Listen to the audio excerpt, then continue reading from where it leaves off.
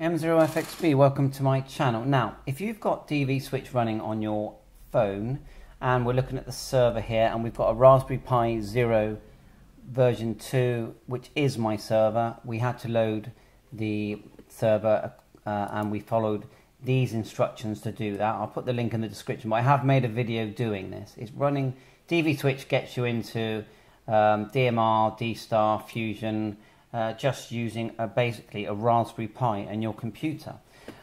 Right, so what it is, there, there is a, an advanced configuration within this. So you've got the normal one that you have as standard.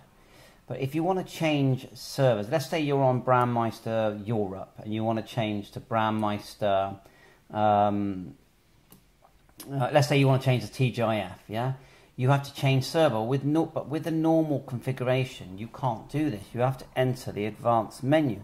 Now you can't do that unless you've made some changes and this is what I'm going to show you how to get into that advanced menu. So I'm just trying to find it here now.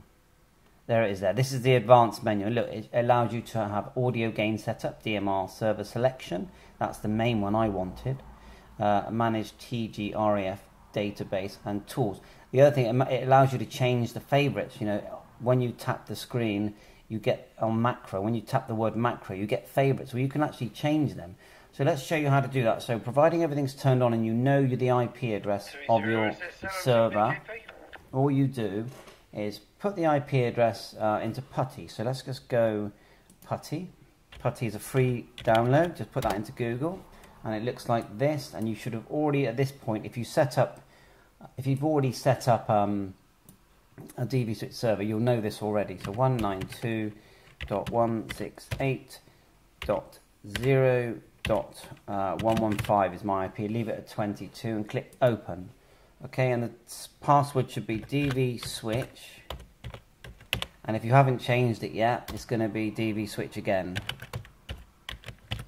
Okay, and then you're into the menu selections here as you can see.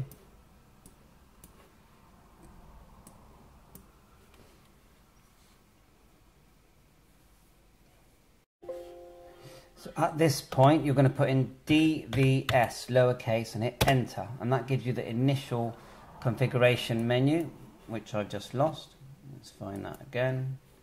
Where's PuTTY gone? Come on, PuTTY. There you are. Find the little PuTTY window. see if I can make it bigger doesn't really make it a lot bigger. Anyway, go down to advanced configuration and click enter or click OK. Now go to, where is it? Go down to 23, hit enter. You are using basic macro configuration. Do you want to change to advanced macro configuration? Click yes.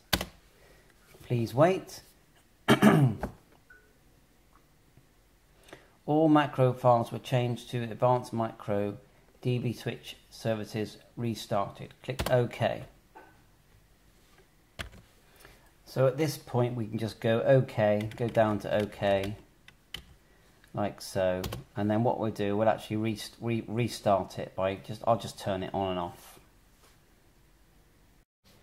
Okay, hope that helps you add the advanced settings and now we're going to look at how we can edit our macros.